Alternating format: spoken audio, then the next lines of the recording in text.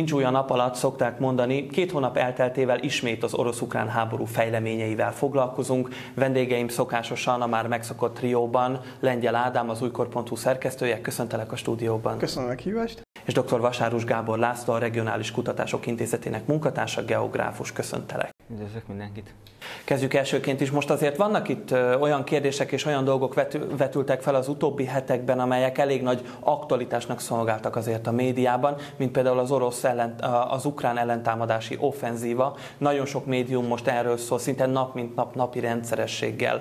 Mi a helyzet az ukrán ellentámadási offenzívával? Mennyire számít ez sikeresnek, mennyire számít ez, ez nagy dolognak most jelenleg? Nem csak inkább ez a tipikus húzavona, ami szokott történni, hogy elfoglaljuk a várost, visszafoglaljuk a várost, elfoglaljuk, visszafoglaljuk. És szabad lecsapásra nyújtom Szerintem... az első kérdést. Nem baj, akkor én kezdem, mert ennek egy tök egyszerű földrajzi oka van annak, hogy miért ott és hogyan zajlik az egész. Ez teljesen regionális tudományi kérdés. Ukrajnának olyan a térszerkezete, hogy alapvetően voltak ilyen nagy kijelölt iparvárosok a, a szocializmus évtizedeiben, és a közlekedés is úgy lett kialakítva, hogy ezeket a nagyobb ipari központokat kötötte össze. Ugye a Szovjetunióban azért az ipar volt a szempont, nem a lakosság ilyen értelemben és ezért viszonylag ritka az úthálózat, de azok, ahol viszont megy a vasút, meg az út, az jól meg van építve. Hát nem sajnálták a betont ilyen oroszosan. Éppen ezért ezeket nagyon nehéz elpusztítani. És az ukrán offenzíva az azért ott zajlik, ahol zajlik, mert gyakorlatilag ö, Tokmak és ö, Oroszorsz, hát gyakorlatilag a tényleges orosz határ és Tokmak között van egy vasútvonal. Ugye ezzel látják el jelenleg a Dél-Ukrajnában harcoló orosz csapatokat. Ez gyakorlatilag, ez annak a két oka van, egyrészt az ukrán úthálózat azért nem a legjobb az univerzumban, még a városokon belül sem nem, hogy a városok között, tehát itt azért a teherautón elszállítunk minden dolog annyira nem jön szóba, pláne ugye tavasszal, meg ősszel, amikor az eső miatt felázik minden, és akkor még az utakról még a krazok se tudnak lejönni, mert az is elsüllyed. És az ukrán támadásnak teljesen egyértelműen egyetlen egy célja van, minden más az blabla, hogy ezt az útvonalat, tehát ezt a főutat, meg a mellette futó vasútvonalat, ezt elvágják. Ugyanis, hogyha ez megtörténik, onnantól kezdve gyakorlatilag a Ukrajna, Dél-Ukrajna nyugati felén, tehát Krím és az attól északra lévő területeken lévő orosz csapatoknak az utánpótlása az a töredékére redukálódik, és nem is úgy kell elkezdeni, hogy felére, hanem inkább ilyen tizedére. És ehhez nem kell nagyon sok mindent elfoglalni az ukránoknak, tehát az ukránok pontosan tudják, hogy ahol ők állnak most, onnan kb. egy 10 kilométert előre mennek, egy, akár egy félkör alakba egy 10 kilométeres félkört ott be tudnak nyomni az ukrán frontvonalba, akkor pont el tudják tüzérséggel érni ezt a, a hát sima hagyományos könnyű tüzérséggel a területet, azzal lövik azt egy hétig azt a vasútvonalat, meg az utat, abban már akkor a károkat tesznek, amit nem könnyű kiépíteni. Ennyi. Itt semmi olyan cél nincsen teljesen egyértelmű, hogy Kelet-Ukrajnát felszabadítsák, vagy X vagy Y települést elfoglalják. Egyébként ez a település elfoglalás az az oroszoknak a mániája, ez egyébként még Afganisztánból jön, mert ugye Afganisztánban a településeknek volt értelme a köztük lévő pusztának, nem? Ez így benne maradt az oroszok fejébe, de egyébként az ukránok a nyugati szemlélet szerint harcolnak már, ugye ami a magaslatok. Tehát a, a, ha megnézed egy második világháborús amerikai haditérképpen nem az lesz, hogy X város, Y város, hanem hogy Hill 112, Hill 100, tehát ők a magaslatokat akarták elfoglalni, onnan be lehet látni a pusztát, szét lehet lőni az utánpótlás szállító terautókat, ágyúval vagy akár egy mesterlövészfegyverrel is át lehet benne tenni. Nyilván ez távolság és domborzat függvénye, és ebben az ukránok teljesen átálltak az amerikai szemletre, tehát én és már tudom képzelni egyiket, hogy egyetlen komolyabb településnek nem fognak nekiesni. És a másik földrajzi dolog, amit figyelembe kell venni, hogy az oroszok ezt a területet fél éve erősítik. És ez úgy néz ki most jelenleg, fizikailag, hogy van egy nagy puszta, mögötte egy hegyvidék, de, illetve hát inkább pontosabban egy dombvidék. Ugye a folyóvölgy és mögött a dombvidék, ami később átmegy egy nagy síkságba, ugye ez a, tulajdonképpen maga a, a Fekete-tenger melléki alföld. Na és itt azt csinálják az oroszok, hogy kiástak három egymás mögötti lövészárok rendszer, pont mint első világháború, aki látott egy képet első világháborús lövészárok rendszerről, ez ugyanúgy néz ki. Annyi, hogy a két lövészárok között most nagyobb távolság van, mert hát nyilván a tüzérség ható távolság és ereje növekedett, de ugyanúgy ebben benne vannak a gyalogosok, egy-két páncéltörő fegyver, néhány reteszállás van, az azt jelenti, hogy így hosszába is vannak katonák, nem csak a, a, a lövészárkokból ennek az az értelme, hogy az ellenség ne tudja azt csinálni, hogy egy helyen áttörés, akkor két irányba szétmegy. Viszont ami nagyon fontos, hogy ebbe a puha talajba beleástak irgalmatlan mennyiségű taposóaknát. Ugye, ha, ha megnézzük azokat, hogy az ukránok most például mennyi járművet vesztettek, az, az részben azért van, mert rámentek a taposóak. Na, mezőkre gyönyörű szépen látszik a kép a kilőtt Bradley-kről, meg a, a leopárdokról. Hát azt az ember alaposan megnézi, látszik, hogy a páncélzatokon egy karcolás nincsen, hanem azok mind aknára futottak, mert a lánctalp van az összesről leszakadva. Ez a ház, majd te jobban elmondod, ugye egy minden hadművelet három részből áll, van a betörés, az áttörés és a, hát, a, a kiterjesztő művelet az áttörő művelet zajlik egy gyakorlatilag egy puha homokon lévő aknamezőn keresztül, hát itt az, hogy ekkora veszteségek vannak, hát az bármilyen szomorú hangzik, ez a tök normális kategória. Egy tényleg egy hasonló, hasonló területen zajlott ugye az, amikor a Donkanyarban a magyarokat megtámad a második magyar hadsereget a Szovjetunió, az akkor támadó orosz dandár, páncélos dandár T-31-esekkel felszerelve 90%-os veszteségeket szenvedett. Tehát nagyjából ilyen lehet számítani a támadó ukránéknél is. És nem véletlen, nem régen Vladimir Putyin pont arról tett ugye egy ilyen nyilatkozatot, egy ilyen nagyon cinikus nyilatkozatot, hogy szépen égnek a, talán a leopárdok, vagy pedig a tigrisek, vagy valami ilyesmit Igen. mondott, ugye nem, nem, nem emlékszem pontosan, hogy melyik állatot hozta fel ebben az esetben, melyik névvel élt. Képes lesz most egyébként már nagyon utána vagyunk ugye a Rasputicának, ennek a nagyon saras időszaknak, itt van már a, a száraz nyár. Képesek lesznek-e például a, az ukránok kiverni az oroszokat a nyár folyamán, kiindulva az eddigi elemzésekből? Legut- legutóbb ugye arra tippeltünk, hogy nem lesz ebből nagy. Most ugyanez a szituáció. És egyébként látjuk is, pont amit most mondta, hogy ez a puha talaj, puha talajjal az a baj, hogy nem lehet jól tüzérséggel szétlőni, mert, mert szépen elfolyik, vagy hát kitölti a réseit. Ugye az aknákat se olyan könnyen kiforgatni, mint egy normális löszös vagy normális talajból, ha lehetne ezzel haladni, és a veszteségeken is az látszik, hogy, hogy egyszerűen nem megy a dolog. Ugye az ukránok azt mondogatták, hogy ők azt akarják, hogy a NATO kiképez nekik X dandárt, felszerelik X dandárt, azzal támadnak, és ez nem történt meg. Tehát mindig nincs az az erő, hogy Zelenszky azt mondta, hogy kell ahhoz, hogy támadjanak. Nyilván nem lehetett sokáig húzni, mert azért azt már ők is hallgatták, hogy ha nem támadtak, akkor, akkor előbb-utóbb elmegy a, a, a hátszél vagy a támogatottság a nyugaton. Propaganda sikereik egyébként vannak, ugye egy-két fal, az oroszok feladtak, hogy akár igazából talán rendesen besemettek.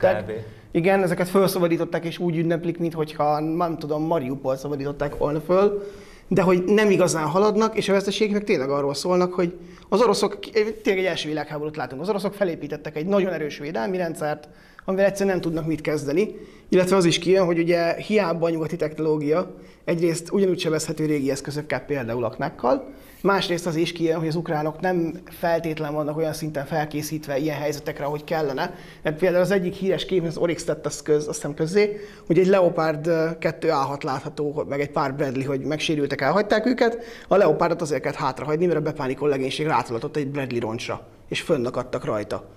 Hogy ez egyszerűen szimplán Hát ez, ez a technikán múlik, hanem a legénység. Igen. Ez a tankpánik egyébként, ez a létező jelenség. Egyébként ez annyira igaz, amit mondasz, hogy hát egyrészt figyelembe kell venni, hogy az, az ukránok most 12 dandára indítottak támadást. Ez nagyjából, hogy mondjon valamit, egy dandár az nagyjából kicsivel több, mint 2000 ember az ukránoknál most jelenleg.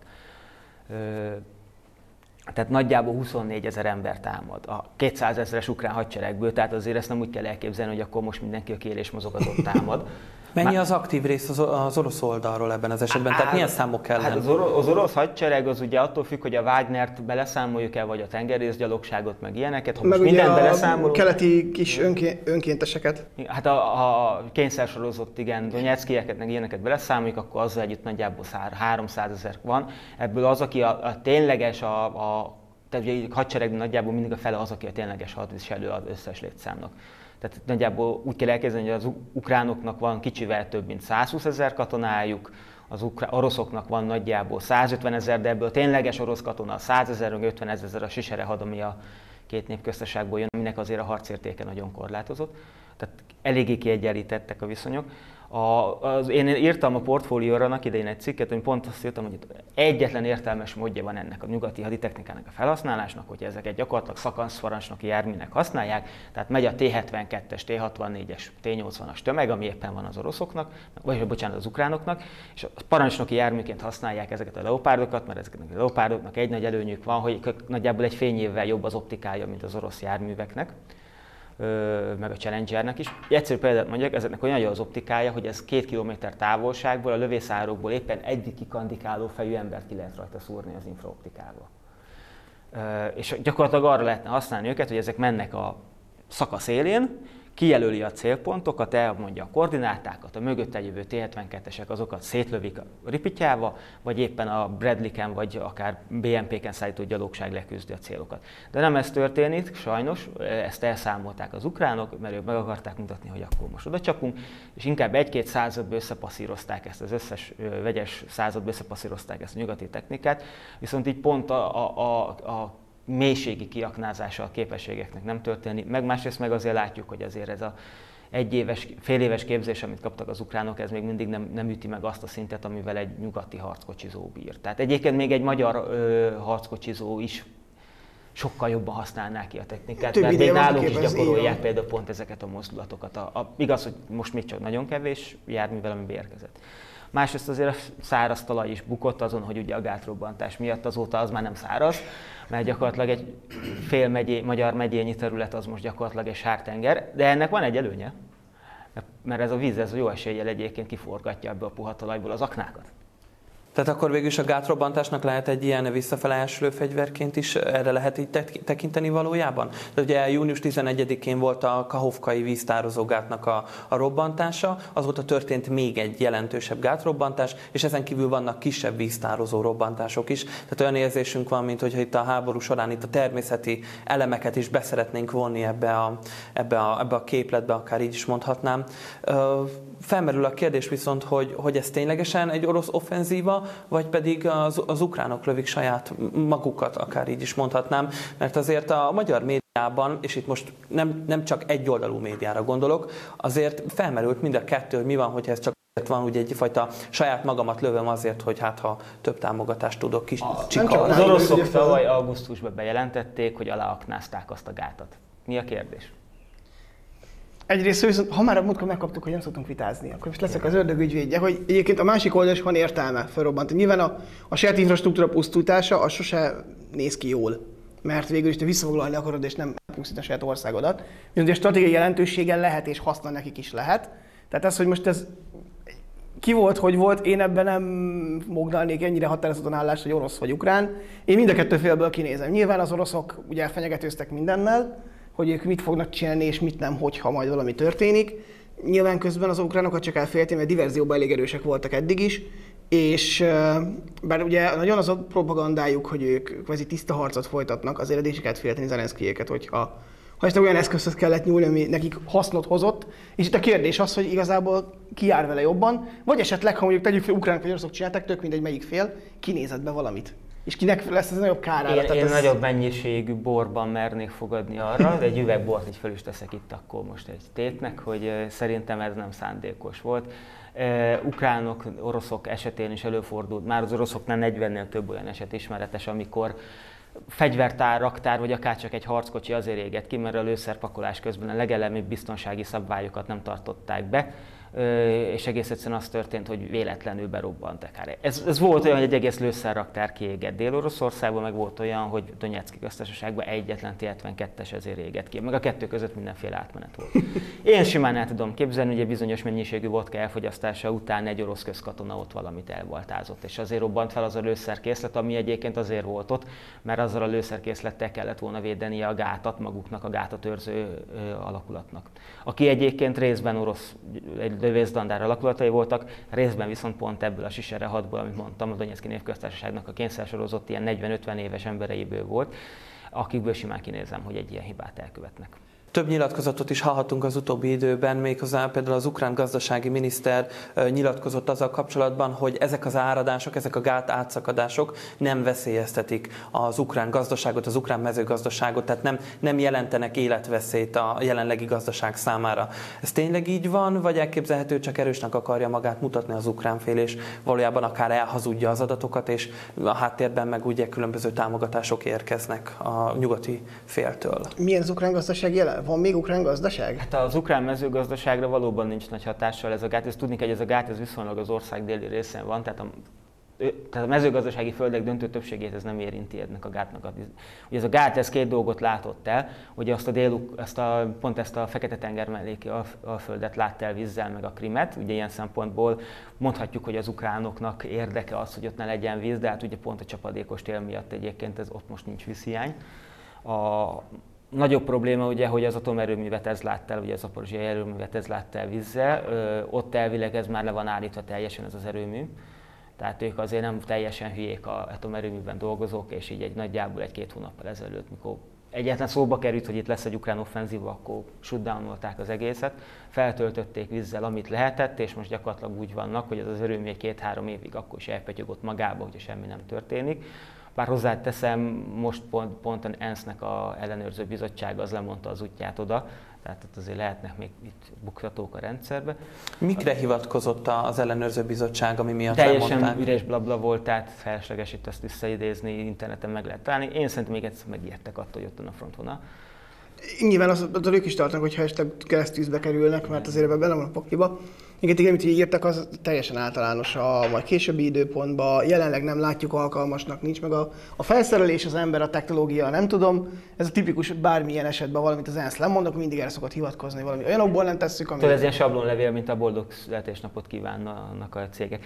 A lényeg az az, hogy az ukrán gazdaság jelentős része, ami működik, az Nyugat-Ukrajnában van, tehát ettől a gáttól minimum 300 kilométerre. Egyébként ezek a gátszakadások, ezek nagyon durván néznek ki, és a közvetlenül a gát alatt lakókra iszonyatosan veszélyesek. Ugye Amerikában is volt már gátszakadás, Brazíliában is, amikor rengeteg ember meghalt, de ez, ez konkrétan úgy, úgy működik, mint egy árhullám. Tehát ez jön, elmos minden, vagy mint egy cunami a tengerparton, de utána ez viszonylag gyorsan levonul, akkor onnantól kezdve ez helyre áll. Hát nyilván a épületek károsodnak, meg minden. De ugye ez, ott azon a részen, ahova ez a víz lefolyt, ott nincsenek ilyen iparvárosok nagyok. Másrészt pedig azért azt tudni kell, hogy ez nem egy olyan típusú, tehát ez egy viszonylag nagy tó, de nem túl nagy a vízmagasság.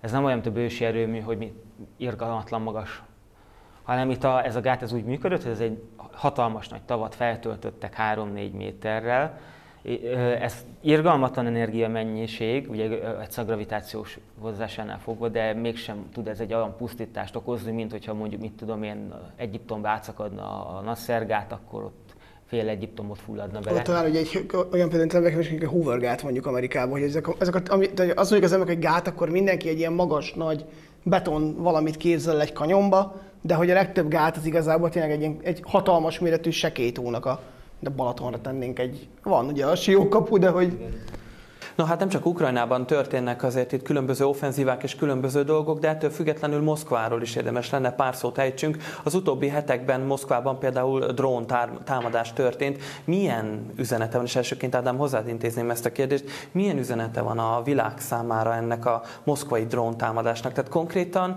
nem arról beszélünk, hogy Moszkva az, az ott van az orosz-ukrán határtól tegyük fel 20 kilométerre, hogy éppen még át tudott szállingózni egy drón, egy elég hosszú utat járt be. Tehát, és Vladimir Putyin nem is reagáltam úgy erre a támadásra. Innentől kezdve, mi, milyen, mit tartalmaz nekünk ez a, ez a támadás? Veszélyes az orosz zászlók élete, hogy nem tudom. Az a baj ezekkel a dolgokkal, hogy tehát nagyon nehéz ezeket úgy megfogni, hogy ez most mégis mit jelent, és ki csinálta, és hogy csinálta, mert nyilván mindenki tagadja, hogy a mi jött, a honnan jött, és miért. Ugye az oroszoknak azért voltak már híres sztorik, például amikor 80-as években egy nyugatnémet diák átrepült a komplet szovjet légvédelmen és landolt a Vörös téren.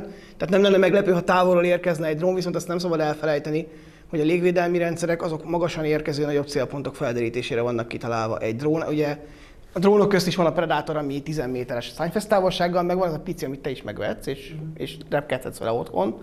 És egyébként... tudjuk, hogy arra is lehet tenni egy akár. Így van, és azt akartam mondani, hogy egy kisebb drón is egész nagy tömeget képes felemelni, és hogyha nem kell annyira messzire repülni, akkor simán is fogod repülni, és föl tud egy látványos robbantást, eh, vagy össze tud hozni látványos robbantást.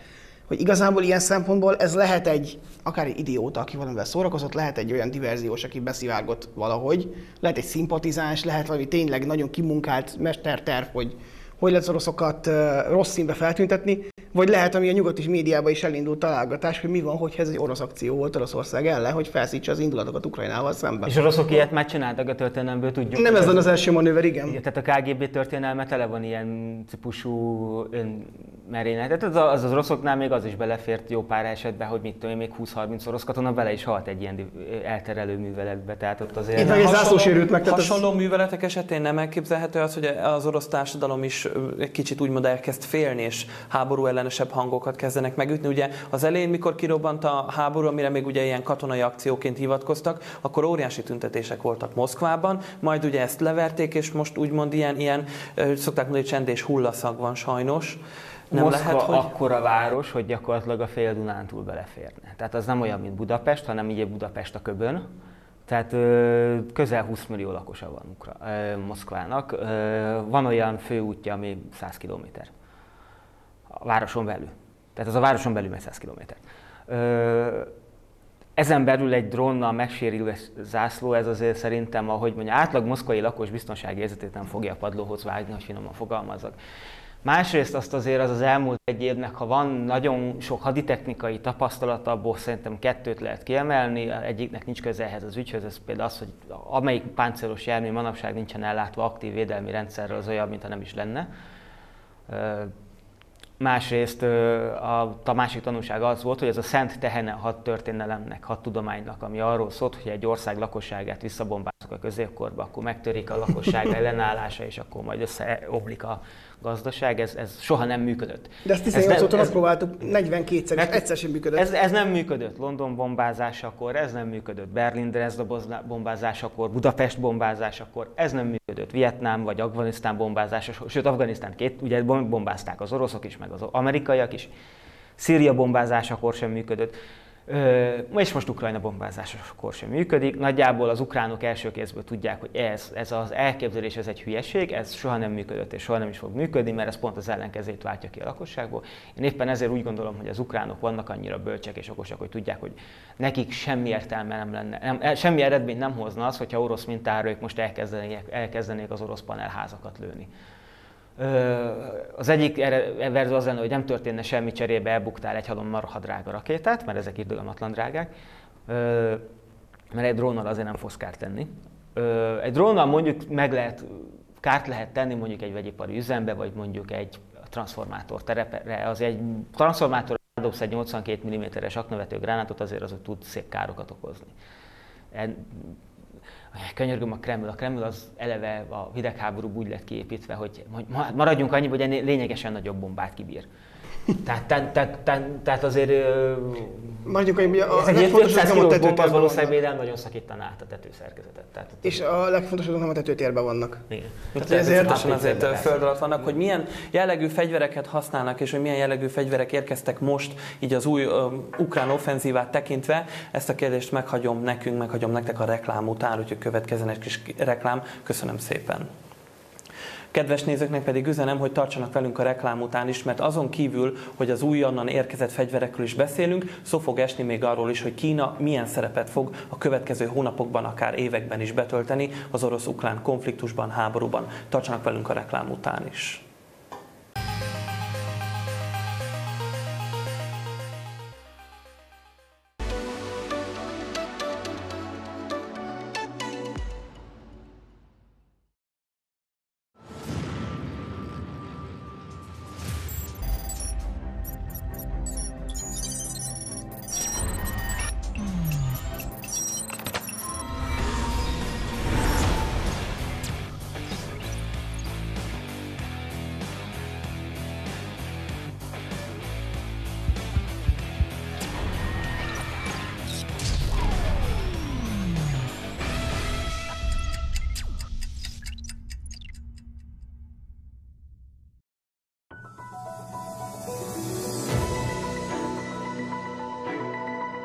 Köszöntjük kedves nézőinket! Mostantól az Egyetem TV műsorán is tájékozódhatnak az aktuális időjárásról.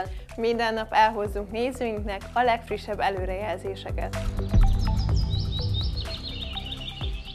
Eláruljuk, hogy mikor készíthetjük a naptejet. Vagy ragadjunk-e inkább esernyőt? Minden, amit a délalföldi időjárásról tudni érdemes itt az Egyetem TV műsorán.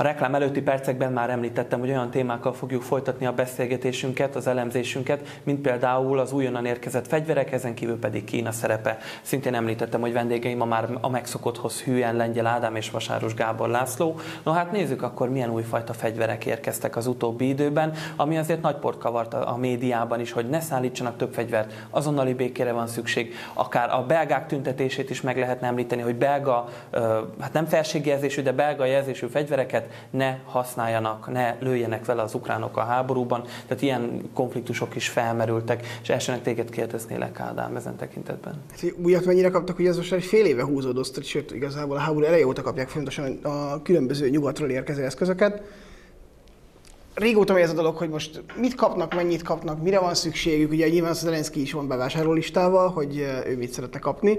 Sőt, egyébként a háború egyik ilyen... legérdekesebb tapasztalata az volt, hogy ugye mindenki az elején attól retteget, hogy majd az ukrán fegyverek megjelennek a fekete piacon, mert az ukrán igen, igen, igen.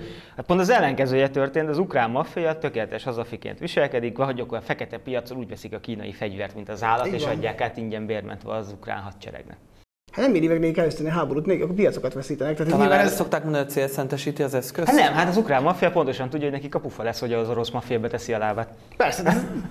igen, úgy igazából... a saját egzisztenciáját. De felejtsd el, hogy a szicíliai maffia, ugye a, a, az olasz maffia, az eredetileg egy szabadságharcos prozgalomként indult. Tehát a, a maffiáknak mindig is volt egy ilyen nacionalista és a, jellege. az amerikai maffia is egyébként a világháború alatt azért elég mélyen benne volt a hadseregben, és mindenhol is támogatta az amerikaiakat. Tehát hát a Thompson ez... puska azonnal ered. Tehát híres, igen. Tehát, hogy ilyen szempontból, hogy mit kapnak és mint és hogyan, ez egy, ez egy érdekes dolog. A kérdés inkább az, hogy mire és hogy tudják használni. És ugye pont említettük, hogy nem úgy használják ezeket az eszközöket, ahogy mondjuk jó volna, vagy hogy érdemes volna, hanem megpróbálják átvenni valamilyen szinten a nyugati gondolkodást, miközben az ukrán hadsereg katonai gondolkodása az még azért mindig a szovjet módszerekbe gyökerezik. Ez abból is látszik, hogy ugye páncélos rohamon megpróbáltak átmenni aknavezőn egy lövészároknak, minimális sikerrel. Egy harckocsi gyalogsági támogatás nélkül egy, akna, egy lövészárokkal nem tud mit kezdeni. A harckocsinak van egy nagy ágyúja, egy-két géppuskája, illetve néhány típusnak van gránát vagy aknavetője. Leopárdnak nincs. Egyébként ezért van az, hogy ebből tanultak a hibából az izraeliek, mert ugye az izraeli harckocsik mind úgy vannak megcsinálva, hogy van rajtuk egy aknavető, hogy a lövészárokba. Ugye az aknavető az ilyen meredek pályán lő, tehát bele tud lőni a lövészárokba. Egy ágyúval először a lövészárok fölött, vagy meglőd az lövészárok falát. Kicsit koszos lesz hm. a, Ugye itt a probléma az, hogy a nyugati hadseregek azok manőverező háborúra készültek, tehát egyetlen nyugati vason nincsen olyan fegyver, amivel lövészárkot tud szétlőni. Mert a Bradley is gépágyú van, meg páncéltörő rakét. Ezeken nincsen aknavető. Ugye mondom, Kína az ennél fokosabb, mert a kínai járművek ők fő vannak szerelve automata gránátvetőkkel. Ők már, már most tanultak az orosz-ukrán háborúból és tehát ez a technikának vannak korlátai. Ezek egyszer hideg háborús pár, arra voltak kitalálva, hogy a hideg háború valahol Kelet-Németországban az orosz TH-72-esekkel párbajozzanak, meg a Bradley meg ugye lett kitalálva, hogy párbajozzon a BMP-kkel ezek nem arra lettek kitalálva, hogy lövészároknak menjenek neki. Egyébként az oroszok is ezért nem működtek, tehát egyébként amikor az oroszok megtámadták Harkivot, most mindenki el van állva, hogy az ukránok buktak nagyjából egy tucat Bradley-t, meg négy darab leopárdot, vagy illetve ha az orosz állítások igazak, akkor hatot. Most Számos az oroszok egy zászlójat buktak el Harkovos Osztanunk vagy szoroznunk kell ugye a reál értéket, hogy megkapjuk, az már más kérdés, hogy mindenki hazudik Tehát, a háborúban. Igen. Tehát az oroszoknál volt olyan, hogy egy fél óra alatt egy komplet hadosztály, bocsánat, zászlójat, egy BTG-t buktak el Harkiv határában fél óra alatt. Most ehhez képest az, hogy az ukránok a, nagyjából egy hete zajló offenzívában elbuktak hat tankot, meg egy tucat Bradley, tehát nagyon fontos, hogy a, a nyugati haditudományból egy dolgot nem vettek át az ukránok, és ez döntő jelentőségű, ez pedig a, a nyugati, a NATO alakulatok máshogy vannak szervezve. Sokkal kevesebb, de nagyobb alakulatot alakítanak ki a NATO országok. Egy egyszerű példát mondok, és mindenki meg fogja érteni. Egy nyugati század, az áll nagyjából 18-20-22 járműből. A harckocsi század az 18 és 22 közötti mennyiségű harckocsiból van, ugye országonként azért van eltérés. Egy csapatszállítós, ilyen gyalogsági harcjárművel szállított lövészszázad, az is ilyen 10-20 jármű, 25 is lehet, azt hiszem az a max, ami létezik. És ha beleszámol azért, mert nagyjából 10 ember van benne, tehát hogy pont kijön a század létszáma. Igen, és ugye ennek az a lényege, hogy ugye ö, ha egy ilyen alakulat elveszít 5-6 járművet, még akkor is működőképes, akár 10 is. Ehhez képest egy Varsói Szerződés szabvány század, amit a mai napig használnak az oroszok. Egyébként a Magyar Honvédség is még jelenleg nagyjából azt követi, nem teljesen, de még nagyjából igen. És az ukránok is ugye erre lettek kiképezve, az meg tí, fixen 10 járműves, 9 jármű van, ami szállítja mondjuk a gyalogosokat, vagy 9 harckocsi van, ami harcol, meg egy parancsnoki jármű. Az, vagy egy parancsnoki harckocsi, vagy egy parancsnoki csapatszállító. Na most ez azt eredményezi, ha belegondolsz itt az, hogy mondjuk meglegyen egy 10-20 százalékos veszteség, az, az, az két jármű. Ez azért fontos, mert a számítógépes játékokból mindenki úgy gondolja, hogy, hogy háború úgy néz ki, hogy addig lőjük a ellenfelt, amíg mindenki meg nem hat. Ez valóságban nagyon nem igen. Szőnyegbombázás. Igen, valóságban ez, ez egy helyen működött, így ezt úgy hívják, hogy Okinawa. ez sehol máshol nem így volt a történelemben, ez úgy néz ki. Egyébként még Okinawán se valósult meg, mert ott is kb. 200-300 japán az hadifogó lett, mert már végén ők is rájöttek, hogy fölösleges meghalni. Valóságban úgy néz ki, hogy egy lövész alakulatnak, vagy egy harckocsi századnak nagyjából a 30%-át kilövöd, vagy megsemmisül, vagy akár csak műszakiban miatt lerobban és hátra kell hagyni. A 30%-os veszteséget ezt már úgy hívjuk, hogy műveleti szintű veszteség, tehát ez azt jelenti, hogy a harcértéke már jelentősen csökken a századnak. Nagyjából, amikor arról beszélünk, hogy egy századot szétlőttek, az nem azt jelenti, hogy mind a száz ember, vagy a, hát illetve valójában egyébként az 200 ember ugye egy század, mert ott vannak ellátósok, géppuskások, nem csak lövészkatona, az a, nagyjából annak az egyharmada az megsebesül vagy meghal, mert itt ugye megsebesül is veszteség, azt már múltkor kibeszéltük, akkor az már gyakorlatilag a szétvert harcképtelen állapotnak felel meg. A 50%-os veszteség általában az, hogy fel is oszlatják az alakulatot, mert azt már még feltölteni is érdemes, mert morálisan annyira leépül. Na most egy, és akkor kiszámolod, azt jelenti, hogy egy nyugati szervezésű századnál ez azt jelenti, hogy 20 járművet elbukna, ö, bocsánat, 10 járművet elbuknak egy századból, akkor van az 50%-os veszteség. A, a, az oroszoknál 4-5 jármű az már ezt tudja.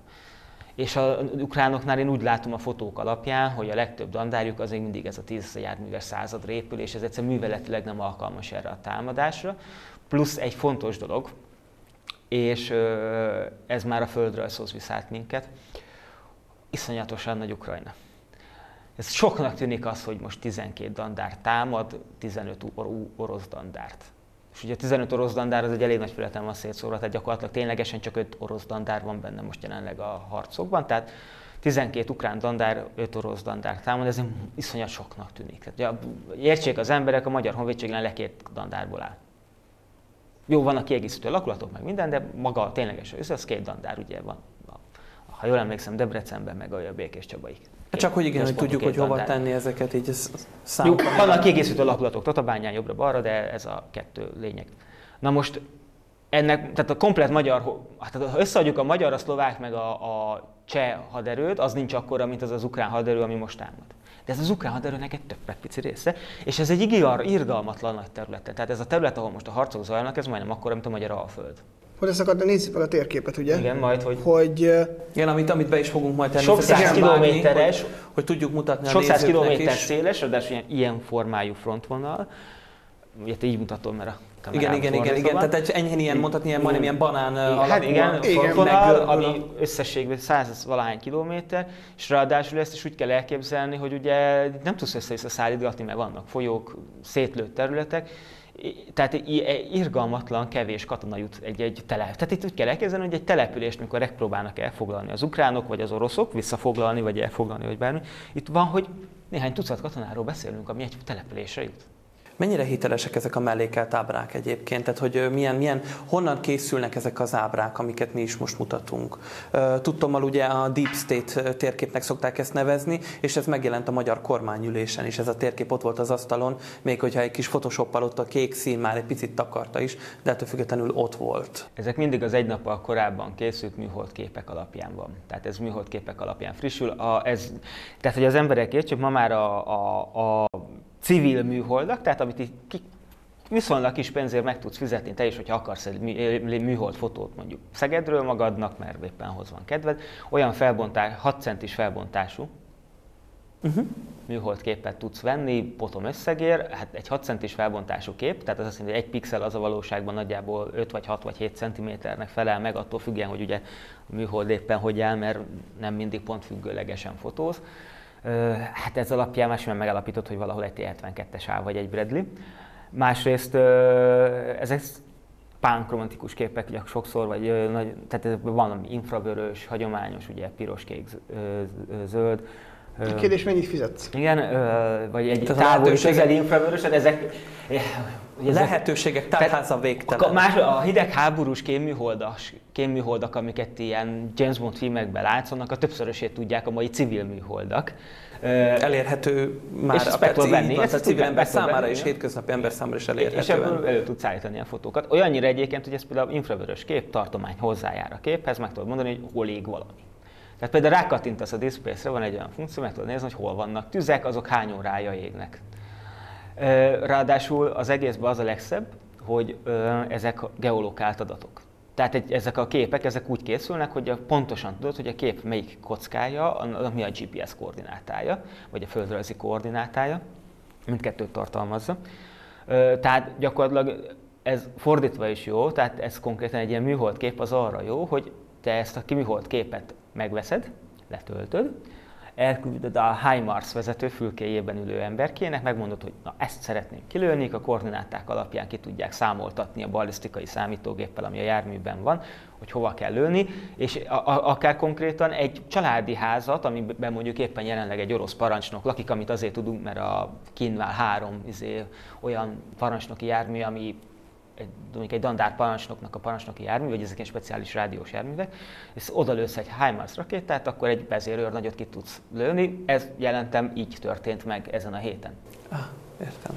Na, tehát ma... Bocsánat, egy még gyakorlati példa, ha már föl, például az, amikor van rendőrök így rohangálnak Magyarországon, és elkapnak azt, hogy valaki itt az alföldi pusztában füvet csempészett, az nem úgy van, hogy éppen arra tévedt egy kóbor rendőrkutya és kiszagolta, hanem az pont a műholdképek alapján van, mert például a, a kannabisznak más a színe infravörös tartományban, mint mondjuk a búzának. Hát bizonyos körökben nem biztos, hogy nagyon érdemes ezeket így hőtérképpel, vagy bármilyen jellegű, vagy infratérképpel vizsgálni. Lehet, hogy néha meghökkentő adatokat is kapnánk, de az egy teljesen más tandemadásnak képezhetné a témáját. Most így a matematikai bevezető, átvezető és ilyen elemzés után egy kicsit beszélünk arról is, hogy azért nem csak orosz és ukrán félről van itt szó, amikor orosz-ukrán háborúról beszélünk, hanem ugyanúgy USA érdekeltség, ezen kívül pedig Kína érdekeltsége is egyre inkább teret hódít, teret nyer. Kína most az utóbbi időben a, a vezetőinek nemrégiben megválasztott elég erős ö, számokkal, mondhatni bővelkedő vezetőinek köszönhetően ö, elég erősen próbál nem csak a technológiai piacon teret hódítani, hanem mindenhol igazából. Legyen az például akár Magyarországon akkumulátorgyártás, amiről már szintén ugye beszélgettünk veled is, Gabi, ezen kívül pedig a háborúban is úgy néz ki, hogy Kína valamilyen szinten teret próbál magának szerezni. Mit szeretne Kína valójában elérni? Új csendőr léphet valójában a világ színére? Nem csak az usa most már ez a színpad? Mondok erre pár gondot, aztán átadom neked a gazdasági részével, hogy ugye, ha már említett, pont ez a csendőr dolog. Akár hat történeti szempontból igen, is, igen, ugye, hogy mit mond. Itt van nekünk ugye az a régi megszokás, az Egyesült Államok a világ egyetlen vezető domináns szuperhatalma, viszont úgy tűnik az utóbbi időben, hogy Kína hát ha nem is eh, deklarálta, vagy nem is ilyen jellegzetesen amerikai módon kinyilvánítva, de ezért Kína szintén vezető szerepre tör, a saját régiójában már gazdaságilag, politikailag elég erős, és a világban is sok területen megkerülhetetlen szereplő. Ezért van az, hogy például Magyarországon kínai akkumulátorgyárról, vagy nem csak nálunk, egész Kelet-Európában több helyen erről beszélnek, hogy felműlt a Danzigtól valamelyik görög városig tartó tehervasútvonal, hogy ugye a Budapest-Belgrád vasútvonal is kínai pénzül épül, hogy egyre több európai országba kínai cégek törnek be. Most például gondoljunk a villanyautózásra, egyre több kínai márka jelenik meg Európába, és már nem Volvo néven meg hasonló módon, hanem a kínai márka névvel, mert egyszerűen már nem kell nekik fancy márka kitenni, gondolunk az okostelefonokra, amik ugye rengeteg kínai cégtől jönnek, hogy Kína már gazdaságilag, politikailag és sok más területen is elég erős szerepet játszik az életünkbe, és megkerülhetetlen szereplője ennek, és tulajdonképpen az Egyesült Államok kihívójaként jelenik meg. Egyelőre még a kulturális szférában annyira nem, bár most már azért arról is egyre többet beszélünk, hogy, hogy Kína kulturális szférában és az Egyesült Államok babérjaira tör, és így nyilván egyértelmű, hogy ha van egy olyan háború, ahol ugye aztán ebből hosszú távon ők jó hasznot láthatnak, akkor megpróbálnak valami módon beavatkozni. Így jön a Beszél, kvázi bocsánat, még, még mielőtt a gazdasági részére rátérnénk, azért még oda tartozik az a kérdés is, hogy uh, elkészült, különböző forrásokban olvastam, hogy elkészült már az a terv, hogy majd, majdan Ukrajnát hogyan és miként szeretnék majd újján építeni, és akkor itt különböző ö, jobboldali vagy USA ellenes médiumok megjelentek, amik már egyből mondták, hogy ezek mind az USA-hoz köthető ilyen egyéb szervezetek, akik majd ö, hiteleznek Ukrajnának, újjáépítik majd ö, bármilyen életfogytig tartó, vagy nem tudom milyen költségek árán. Elképzelhető, hogy Kínának is ez lenne az Kína érdekeltsége, már hogy bejelentkezett több ukrán kikötőre konkrétan. Tehát, hogy ez, ez olyannyira nem igaz, hogy ez ilyen nyugati biznisz, egyiket, de meg hogy ez a háború csak az USA érdekel, meg az ilyen blabláknak, egyiket pont a egyik legjobb cáfolat az, hogy egyébként Kína az már bejelentkezett arra, hogy ők konkrétan mit és hogyan szeretnének újjáépíteni, nyilván, Nyilván nem szívjóságból, hanem azért, mert a, onnantól kezdve a kínaiak is tudják használni. Kínának például egyébként, a, ugye volt ez a kínai béketerv, egyébként nem béketerv volt, hanem egy követelés is, hogy Kína minek a szállítását akarja újra tehát nyersanyag, oroszok milyen nyersanyagot álljanak neki azonnal újra szállítani, az ukrán búzát azonnal kéri, stb. Ez egy követelés is volt valójában. Nyilván a végén volt ilyen szép szó, hogy jaj, legyen béke. De ezt kb. annyira kell komolyan venni, mint amikor egy szépségversenyen mondják, hogy világbékét kívánok. Vagy amikor az ember ír egy nagyon csúnya e-mailt, és a végén odaírja alá egy szívélyes üdvözlettel. Igen, na, hát Ha, igen. kb. igen, ez teljesen analogia volt.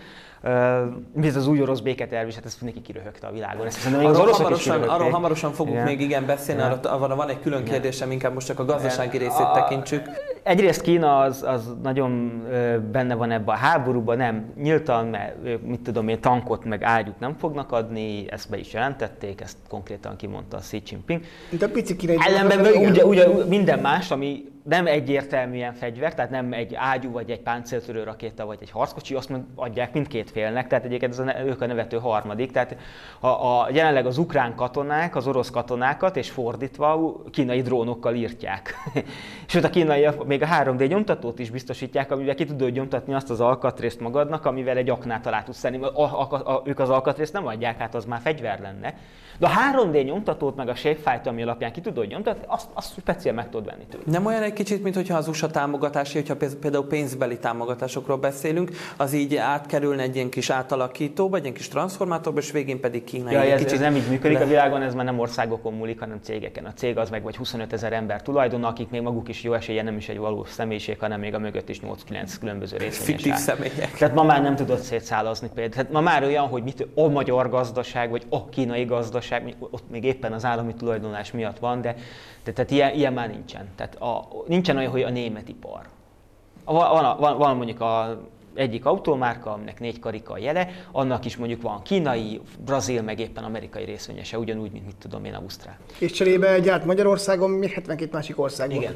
Tehát mondhatni, mondhatni igazából sokkal árnyaltabb itt azért a helyzet, mégis, mégis elmondható az, hogy egyrészt hadászati szempontból fejlesztések miatt Kína is, már lehagyta az és- oroszokat például a haditechnikából. Gyakorlatilag a repülőgépgyártásban utolérték az oroszokat, tehát az, na, hogy mondjam, Kínának már van sorozatgyártott lopakodója, Oroszországnak még nincsen, mert még prototípusok vannak csak, meg előszéria a, a Suhoiból, a lánykori nevén Pakva, ugye?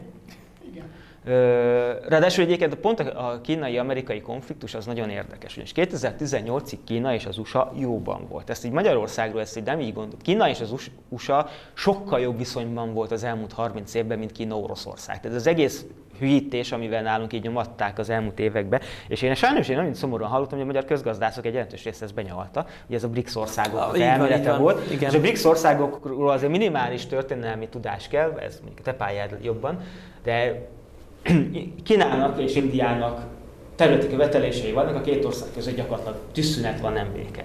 Oroszország és Kína között is tűzszünet van, és tükör Vladivostokot követeli Kína. Meg egy némi folyókparti területeket. Meg a, meg a kínai-orosz viszony az nem egy baráti viszony, az úgy néz ki, hogy a- kb. az olyan, mint amilyen volt mondjuk a rendszerváltás után a magyar meg a német viszony, hogy így a németek így benyomtak egy követelést, és tehát a magyarok meg így bólogattak és megcsinálták. Tehát ez így működik. Tehát Kína valamit kér a Putyintól, akkor Putyinot nem barátként tárgya, hogy, hogy leülnék így beszélgetni, hanem mint a palotapítja. Tehát ez így néz ki a valóságban. És hozzá, és, és, ö, Körülmények érdekviszonya. Igen, mert a kína, kínaiak azok nagyon bölcs emberek. A kín- kínaiak azok egyrészt 2000 évben gondolkodnak, nem négy évben, mint mi, a mi politikusaink már, mint. És Kína no, nem azért, mert a politikusaik még 2000 évig élnek. Nem, hanem azért, mert ők pontosan tudják, hogy a párt az nem fog megváltozni. őket nem fenyegeti A rendszerörök, az, az embereket lecseréljük benne. Cserélhető Kötelező is cserélni, a kínai pártban van egy ilyen hallgatólagos megegyezés, hogy amit Xi Jinping most egyébként felrugott, hogy max 8 év után Igen. mindenkit cserélni kell, pont azért, hogy ennek teljesen logikus oka van, mindig jön egy friss gondolat fővé kis vérfrissítés akár a Igen, is került bele ebbe a buliba, hogy mint vérfrissítés a fiatal generáció tagja. És a lényeg a sztorinak az az, hogy Kína az arra számít, Kína alap, arra alapozott, hogy Kína nagyon okosan arra épített, hogy Kína pontosan tudja, hogy az ő gazdasági növekedése egy időben korlátozott dolog. Mert a Kína azért növekszik, most nagyon leegyszerűsítem, és a közgazdászok ezért biztos majd megharagudnak rám, hogy de egy nagyon egyszerű dolgot mondok, a millió mások mellett Kína gazdasági növekedésének az egyik tényezője az az volt, hogy Kínában ugye volt egy népességrobbanás. Az egész kínai népesség fiatal volt gyakorlatilag. Nagyon minimális volt az idősek száma. Ezért egészségügyre, nyugdíjra meglepően keveset kellett költeni. A magyar GDP-nek 10-20-30 százaléka az ilyen célokra megy, ilyen szociális célokra. Az USA egyébként még ott meg nagyon nulla. meglepő. O, igen, ott meg nulla. És az a kínai GDP növekedés az körülbelül mindig annyi volt, mint amennyit mi abban az időszakban egyébként ráköltöttünk a ma- ma- magyar egészségügyre, meg a magyar nyugdíjrendszerre. Most nyilván nagyon egyszerűsítettem, de a lényeg érthető. igen. igen. Nyilván megszabadult szektől a költségtől, iszonyat mennyiségű pénzed Viszont lesz, amit... Kínában az a korosztály, aki ugye 70-es években megszületett, az eléri a nyugdíjas kort nem sokára. Kínában, pont, és nincs nyugdíjrendszer Kínában, hanem azt a kínai lakosság fogja eltartani a nyugdíjasokat, de ilyen szempontból teljesen hogy ez most az állambácsi fizeti, vagy a lakosság. A lényeg az, hogy ez a plusz pénzösszeg, ez így most már le lesz kötve. Tehát Kína pontosan tudja, hogy neki mostantól számít, a max 10 éve van még növekedni, és ezt kell legjobban kihasználni. Ehhez nekik az kellett, hogy jóban voltak az amerikaiakkal, ez nem azért volt, mert ők most annyira marhára szeretik az amerikaiakat, vagy nem, hanem egyszerűen a kínai doktorandusz hallgatóknak a fele az USA, amerikai egyetemeken, vagy ausztrál, vagy európai egyetemeken. Egyébként az oroszoknál is. Tehát egyébként érdekes módon ez a, valamiért a Putyinnak, a teljes haveri körének az összes gyereke hanyatló nyugaton tanult az egyetemeken. Miért a észak diktátor is ugye Svájc mondta úgy meg USA-ban, tehát hogy nem annyira meglepő. Ez odáig fajult, és akkor itt jön a kulturális, mert itt vitatkoznék veled, de kulturális téren is nagyon brutális, mindenhol voltak ilyen kínai intézetek, és most nem akarom a Szegedi Kínai Intézetet bármivel vádolni, de ezek a kínai intézetek a világ nagy részén úgy működtek, hogy gyakorlatilag ide a kínaiak betolták a saját doktoranduszaikat, akik gyakorlatilag ipari szinten űzték az ipari kémkedést, a kulturális propagandát, a néphűítést, ha úgy Én tetszik. is csak a Commerce kultúrára gondoltam egyébként, ez a fajta kultúrás háború, ez nagyon régóta. Olyan szinten ment ez, hogy Ausztráliából valami 6000 embert utasítottak ki, akiről kiderült, hogy kínaiaknak valamilyen beépített ügynöke volt. Ez lehet, hogy úgy nézett ki, mintha egy boltos lenne, mert egy gyár melletti kisboltot üzemeltette, mivel a gyári munkások hozzájártak reggel megvenni a zsemlétől, olyan ipari titkokat tudott meg, mint a húzat, és jelentette aznap. Tehát ezt az ügykezet, amikor elkezdték gyártani a F-35-ös vadászbombázót az amcsik, a egyik alkatrész, most nem menjünk bele a repülőtechnikai részletekbe, az másnap megjelent a kínai 31-esen Ctrl-C, Ctrl-V-vel, olyan szintű Sőt, a gép jelentős részei kerültek átemelésre más kínai bocsánat, gépek. hogy közben vágok, közben szorít minket azért a műsoridő is. Akkor egy, egy, egy utolsó záró gondolatot kérnék erre. Még van egy rövid hogy témám. Ez olyan szinteket lépett, hogy most már Kína olyan szinten ment el az USA mellett, hogy egyébként mi mindig tíz év lemaradásban vagyunk a világhoz. Tehát világcsendőre dolog az a Bush kormány volt. Azóta senki nem használta az USA-ba, tehát ez minimum 20 év lemaradás a valósághoz. Az USA sem így gondol már magára, Trump alatt meg pláne nem így gondolt magára. Bár hozzáteszem egyébként pont Ukrajnát a Trumpék fegyverezték el. Fun fact. Tehát ezért van az, hogy aki azt állítja, hogy majd a republikánus kormány alatt szívnak az ukránok, az nincs tisztában a tényekkel.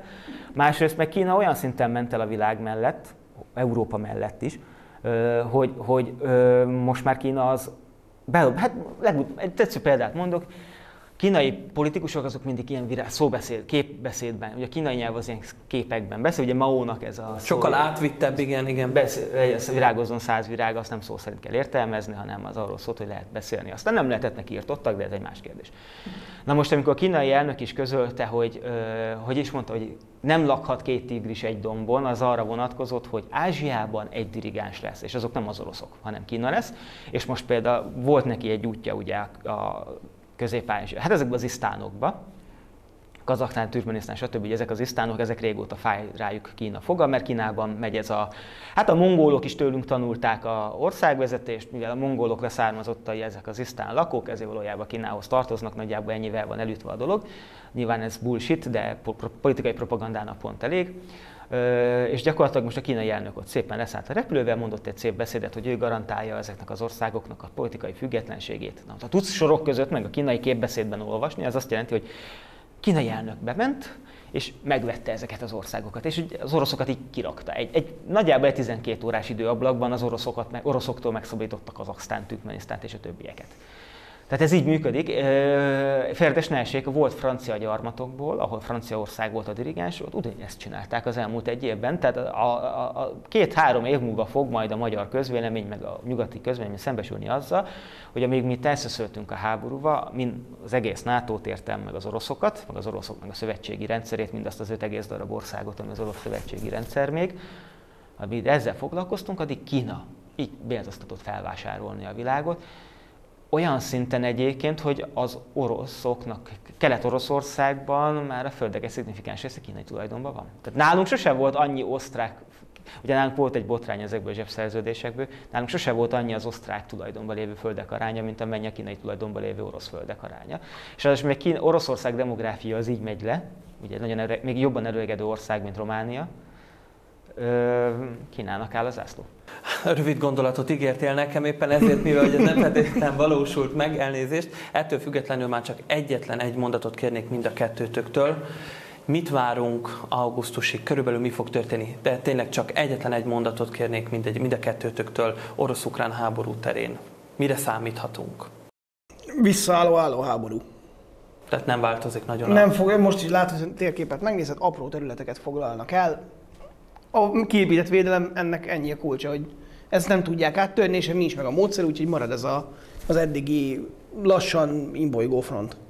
Hát két opció van, nagyjából elmondta, A, az, hogy az ukrán áttörés az egy bizonyos minimális sikereket elér, de ezt a 10 kilométert nem éri el, amit mondtam, hogy minimálisan kell akkor valószínűleg az lesz, hogy ez egy ilyen befagyott konfliktus lesz. Mert az oroszok nem elég erősek ahhoz, hogy elfoglalják egész Ukrajnát, mert ugye az orosz hadsereg egy része az a világon szét van szórva, tehát az atomtengeralattjárókból nem tudott kivenni a tengerészt, aztán elküldeni Ukrajnába. Tehát az orosz hadsereg egy bizonyos mennyiségű embernél többet nem tud benyomni Ukrajnába, már pedig Ukrajna egy gigantikus nagy ország. Hát most gondolj bele, annak idején Csehszlovákiát hatszor annyi katonával foglalták el, mint amennyi most összesen van Ukrajnába. És Csehszlovákia egy kisebb ország volt, mint Ukrajna. Gyanítom egyébként, hogy a következő hónapokban ettől függetlenül még a nyáron, vagy akár a nyár végén is még mindig folytatjuk majd elemző műsorainkkal. Valahol az az érzésem egyébként, hogy ugyanúgy ősszel, és majd télen és is találkozni fogunk. És valószínűleg még, hogy egy ideig Vasáros Gábor, László Lengyel Ádám, köszönöm szépen. Jó szerencsét! És köszönöm szépen a kedves nézőknek is, hogy velünk tartottak ebben a Tandem Extra elemzőadásban is. Amint azt mondtam, és egyébként ezt nem csak én, hanem az elemzők is úgy tartják, még egy jó ideig ilyen elemzőadásokkal fogunk jelentkezni az Egyetem TV berkein belül is. Tartsanak a legközelebbi adásban is viszontlátásra!